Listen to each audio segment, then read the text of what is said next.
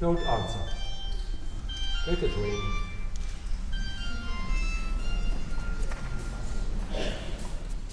When your concert gets interrupted, when do you decide to, to stop? Is it for your concentration or is it for the audience? No, it is sometimes it's just too much. I mean, if you are in a big moment and the orchestra is playing and you hear faintly in the distance something, I mean, you just go on.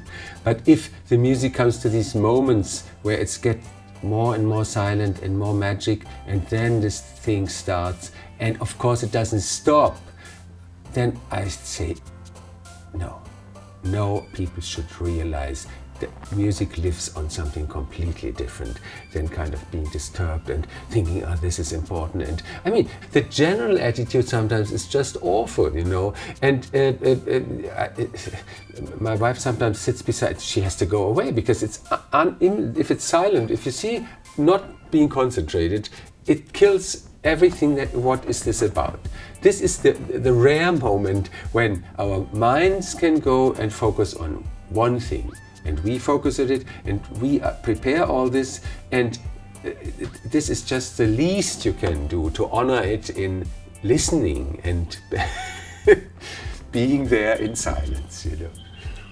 But then of course it's also the advantage can be afterwards people are they know now. They actually